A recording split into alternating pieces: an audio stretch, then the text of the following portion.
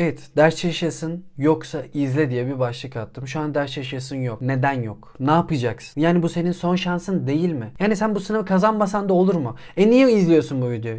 E niye çabalıyorsun? E bu zamana kadar niye çabaladın? Bu niye? Yani biz bunları neden yapıyoruz abi? Ders yaşasımız neden yok? Biz neden çalıştığımızı mı unut? Yani ne yapıyoruz abi çalışmayıp? Ya gerçekten bu soruları kendine sorman lazım. Abi motivasyonum bitti. Abi motivasyon diye bir şey mi var ya? Ya sen bu neden çalıştığını mı unutuyorsun? Ya unutkan mısın? Bunları kendine hatırlat. Yani ders çalışmayıp yaptığın başka şeyler mi var? E onları sonra yap abi sınavdan 2 ay kalmış şurada. Sınavdan sonra yap. E dengeli saatlik bir program hazırla. 12 saat çalışıp bilmem kaç saat ara verebiliyorsun eğer zamanı kontrol edebilirsen. E yaptığın şeyleri o aralarda yap. E yani çok mu yoruluyorsun? O zaman 25-5 çalış. 50-10 çalış. Başka şeyler dene. E neden olmuyor? E bunların hepsini mi yapamıyoruz? Hiçbiri mi olmuyor? Abi gücüm kalmadı. Abi çok zor şeyler yaşadım. E ben de yaşadım. E benim benim tek şansım bu sınavdı. Benim e, babam vefat etmişti. Son 3 ay ara verdim ben sınav senesinde. Benim e, ge- gelen bir gelir yoktu eve. E benim ne yapmam lazım? Hani ben şey baba parasıyla bilmem ne şirketine girecek durumum yoktu benim. Ya da bilmem ne e, sanayide mi çalışayım hani. Benim tek e, zorunda olduğum şey bu eğitimde bilgisayar mühendisliğini hedefliyordum. ODTÜ'yü hedefliyordum. Olmazsa TOB'a giderim diyordum. TOB'a gittim ve iyi ki de gittim. Çok verimli, çok güzel bir üniversitedeyim. Ama bunları nasıl başardım ben? Ben ders yaşasım olmadığında bile çalıştım. Çünkü arkadaşlar kendi motivasyonlarıma sarıldım diyorum. Ama buradan kastettiğim şey motivasyon değil. Ben disiplinle çalıştım. Ben saatlik program yaptım. Ve e, bu programa köpek gibi uydum. Yani gerçekten her zaman ben o derse oturdum. Tabii ki benim de yorulduğum, iğrenç hissettiğim, abi bitse de gitsek ölmek istiyorum artık yeter dediğim ve o zor psikolojik süreçte ben artık bırakmak istiyorum abi. istemiyorum çalışmak dediğim anlar oldu. Ama o anlarda bile kendi motivasyonlarımı yani kendi çalışma sebeplerimi kendime hatırlattım. Bu videoda sana biraz bunları hatırlatmak istiyorum. Ben neden çalışıyordum? Abi benim babam e, emekli olmuştu ama o onunla anca geçinebiliyorduk ve 11. sınıfta ve 12. sınıfta dershaneme gitmem için babam böyle günde 12 saat çalıştı zor bir işte çalışıyordu ve benim için ve kardeşimin dershaneye gitmesi için çalışıyordu ve bunları çalışırken e, e hani ben babamın emeklerine e, hem zayi etmemek için çalışıyordum hem de kendi geleceğim için çalışıyordum. Ben de hayal ettiğim şeylere ulaşmak için çalışıyordum.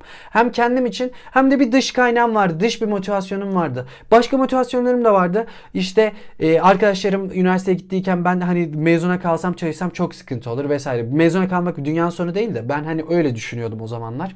E, sonrasında ne bileyim hani o kadar çabalamışım yapabileceğimi biliyorum. Hani ya, yapamazsam yine üzülürüm. E, mükemmelliyetçiyim yapamazsam kendimi tatmin edemezsem çok çok sıkıntı yaşayacağım.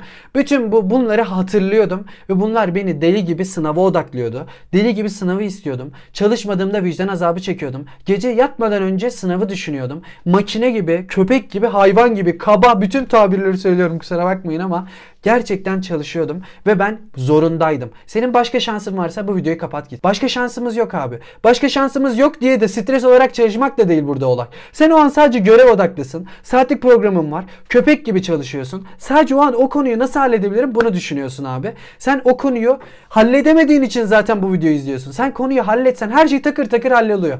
Abi konuları takır takır halletmekten sıkıldım. Abi netlerim onar onar artıyor. O yüzden ders çalışmaya odaklanamıyorum.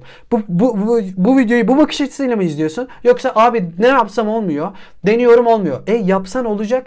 Yani sen biraz daha pes etmesen, biraz daha çalışmaya devam etsen olacak. E sen niye çalışmaya devam etmiyorsun? Biraz daha sabretmen lazım. Bir, o sen çalıştığında, o testi fulllediğinde, o konuyu hallettiğinde, günde 12 saat ders çalıştığında, ne bileyim denemede netlerin arttığında sen çalışmaya devam edeceksin. Sen çalışmaya devam etmiyorsan bunları tam anlamıyla yapmıyorsundur. O zaman eksiklerini fark edeceksin. Ben çalışırken neyi yanlış yapıyorum? Neyi eksik yapıyorum? Bu saatlik programa uyamıyorum. Neden uyamıyorum? Abi dikkat dağınıklığım var. E doktora git abi. Doktora git. Her şeyin çözümü var.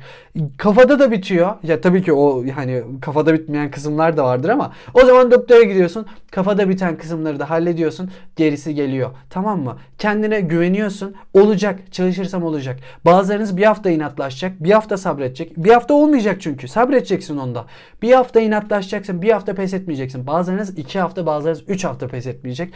Dördüncü haftada hepiniz sonuç alacaksınız. Bazılarınız ikinci haftada bile sonuç alacak. Bazılarınız o hafta sonuç alacak.